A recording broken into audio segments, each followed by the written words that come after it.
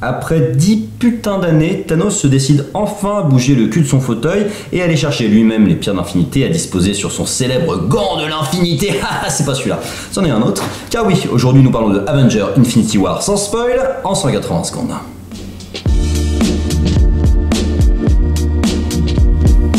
Réalisé par Joe et Anthony Russo et sorti le 25 avril 2018, en quête des pierres de l'infinité, Thanos se retrouve confronté aux Avengers bien décidés à stopper son plan de génocide universel.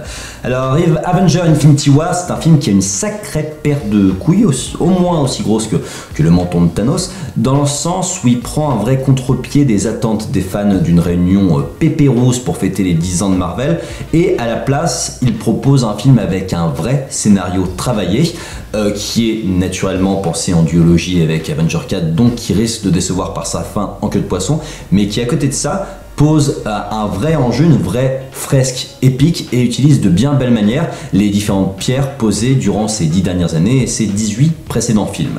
Le vrai point positif de ce, film, c'est Thanos, le méchant lui-même, parce que le film est littéralement centré sur lui. Ça aurait pu s'appeler Thanos Infinity War, tant euh, il est au centre de l'histoire et que par conséquent, on a un personnage qui est vraiment travaillé aussi bien visuellement que scénaristiquement, avec des vraies motivations, avec euh, un vrai rôle et avec une vraie importance colossale. Les Avengers, quant à eux, ont chacun un rôle plus ou moins important dans l'intrigue, mais au service de l'histoire. Et ça, ça fait plaisir aussi, parce qu'on n'a pas l'impression qu'on nous en a poussé certains là pour qu'on puisse les voir. Ils sont juste utiles à un moment donné de l'intrigue. Et selon euh, leur rapport à cette intrigue, leur rapport à Thanos, ils auront plus ou moins d'importance dans l'histoire et par conséquent ils vont tous faire avancer le récit. Les héros sont en plus utilisés avec parcimonie, avec grande justesse, dans le sens où euh, ce Avenger Infinity War permet aussi de continuer leur narration respective de ce qui avait été engendré dans leur film solo. Les rencontres avec les personnages sont naturellement très euh, excitantes, très kiffantes, même si le rythme effréné ne permet pas toujours un temps de pause euh, qu'on aimerait parfois voir pour qu'ils puissent échanger et on croise les doigts pour que ce soit le cas sur un Avenger 4.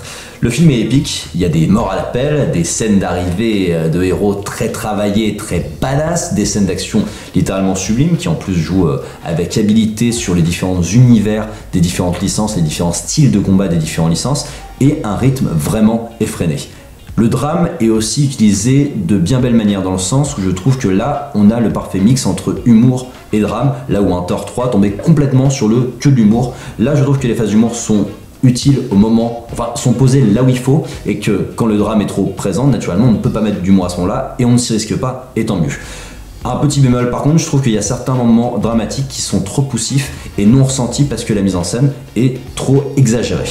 Le film en plus prend ce parti pris de redistribuer les cartes, de renverser la table, il a des vraies conséquences sur l'univers Marvel et ça ça me fait plaisir parce que Marvel ne s'endort pas sur ses lauriers mais essaye de toujours raviver la flamme autour de ses récits. C'est par contre comme je vous le disais la première partie d'une histoire en deux, donc la fin en queue de poisson peut décevoir le public. Ce Avenger Infinity War ne se repose pas sur ses acquis et nous offre une introduction riche en contenu et en qualité d'une duologie épique concluant les trois phases du MCU et moi j'ai kiffé.